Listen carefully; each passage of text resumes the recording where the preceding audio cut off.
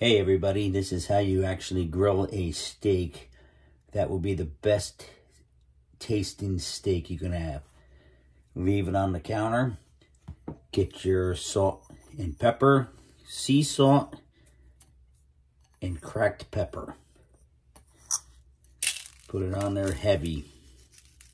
People think you're crazy, but put it on there heavy. Moving around, flip it this is the best seasoning you can use. You don't need all that other stuff on your steaks. That's it. Put it on there. Leave it on there. Now let this sit on the counter until it gets warm. Then put it on your grill. You think I'm crazy, but it's the best steak you ever have. See you guys soon.